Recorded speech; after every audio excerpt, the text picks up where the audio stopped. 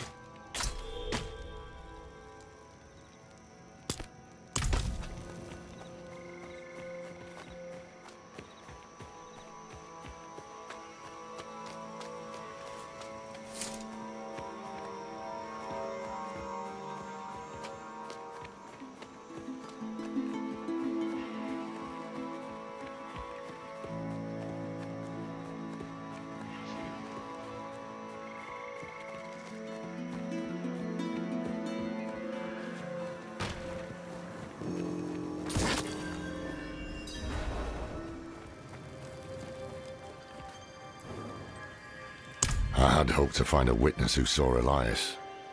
Instead, I have a camp of dead merchants. They were slaughtered by demons, that much is plain. But none were summoned here. We should search the canyons. Could Elias have summoned these demons? Easily. And assuming he did, he may still be here. Stay close to me.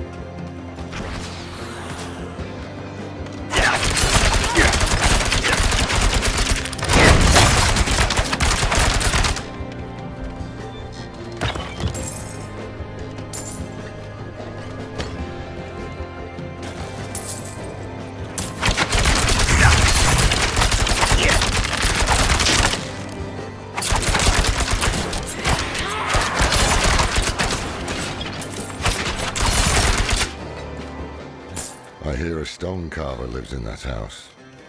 A man called Ganbar. It's hidden, isolated. Perfect for working in solitude.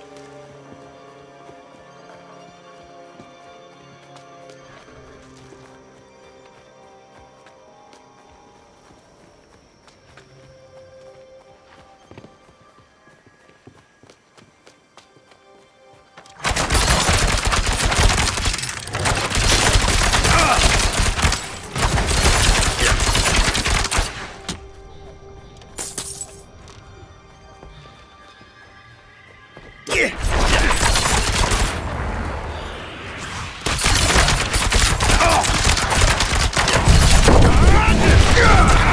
coming to a hell. I will close it. Put them down.